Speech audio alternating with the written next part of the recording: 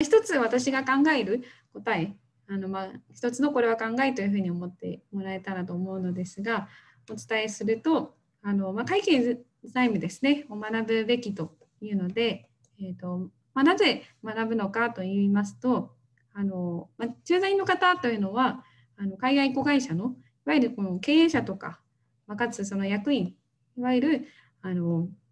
経営を担うメンバーの一員であるからというふうにあの考えております。で経営者、ま、役員、まあ、経営に関わるメンバーということであの、まあ、実際じゃあ何をするのかというのを考えていきたいと思うんですがあの一つはそのトップマネジメントという部分をあの担うのが経営者役員あの、ま、経営メンバーというふうに言われております。でこれトップマネジメントってじゃあ一体何なのかと言いますとあの、まあ、トップマネジメントの、まあ、役割と、まあ、仕事ということであのドラッカーという方をもし聞いたことがあればあの、まあ、馴染みがある方もいるかなと思うんですが彼はどんな人かと言いますと写真で見るとこんな形でちょっとモノクロの写真なのであの、まあ、少し古古い方というとあれなんですけれどもあの、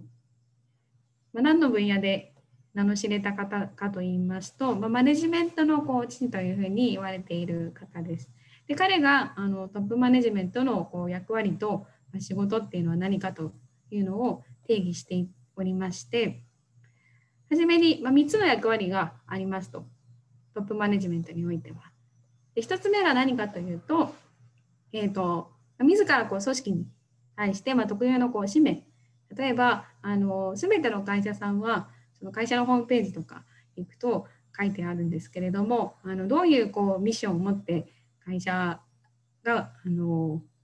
まあ、組織が運営されてるのか、まあ、どういうビジョンを持って、まあ、日々行動しているのかというそういったこう使命をあの持って行動していると、まあ、使命を果たすということが一つ。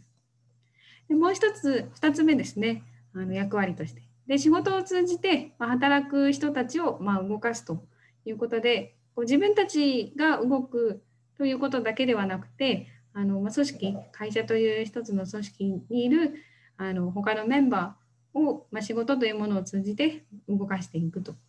いうのが2つ目の役割。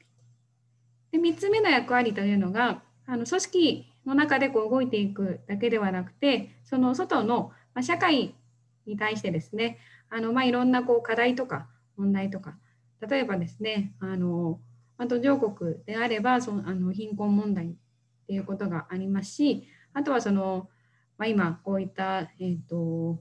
まあ、環境問題なんかも最近騒がれてはいますけれども、まあ、いろんなこう社会問題に対してあの、まあ、解決するための、まあ、行動をしていく貢献をしていくというのが3つ目のあの役割になります。